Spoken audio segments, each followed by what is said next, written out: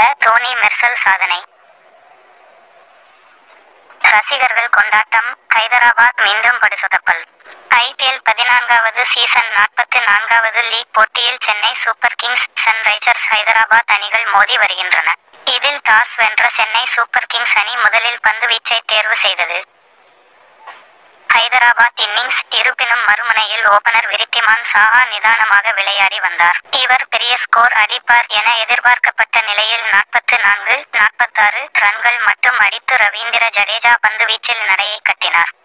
தொடர்ந்து அபிஷேக் சர்மா அப்துல் சமத் ஆகியோர் பார்ட்னர்ஷிப் அமைத்தார்கள். இறுதியில் இருவரும் தலா பதினெட்டு ரன்கள் அடித்து ஆட்டமிழந்தார்கள். தொடர்ந்து அடுத்து அதிரடி ஆட்டக்காரர் ஜேசன் ஹோல்டரும் ஐந்து ஐந்து ரன்கள் அடித்து வெளியேறினார். கடைசி வரை ரஷீத் கான் பதினேழு பதிமூன்று புவனேஸ்வர் குமார் இரண்டு இரண்டு ஆகியோர் களத்தில் இருந்தார்கள். சன்ரைசர்ஸ் ஹைதராபாத் அணி இருபது ஓவர்கள் முடிவில் நூற்று முப்பத்து நான்கின் கீழ் ஏழு ரன்கள் மட்டுமே எடுத்தது. ஹேசில்வுட் மூன்றின் கீழ் இருபத்து நான்கு விக்கெட்களை சாய்த்து அசத்தினார். இது இவரின் ஐபிஎல் பெஸ்ட் ஆகும்.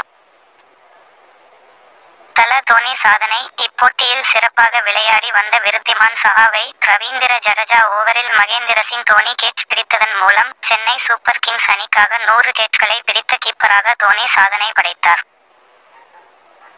முதலில் களமிறங்கிய ஹைதராபாத் அணியில் ஓபனர்களாக ஜேசன் ராய் விருத்திமான் சாஹா ஆகியோர் களமிறங்கினர்.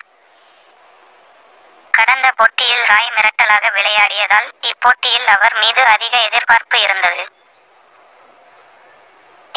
அவர் வெறும் இரண்டு ஏழு ரன்கள் மட்டும் அடித்து ஏசில் உட்பந்து வீச்சில் ஆட்டமிழந்தார். அடுத்து கேன் வில்லியன்சன் பதினொன்று பதினொன்று ரியான் பராக் ஏழு பத்து போன்றவர்களும் வந்த வேகத்தில் நடையை கட்டினார்கள்.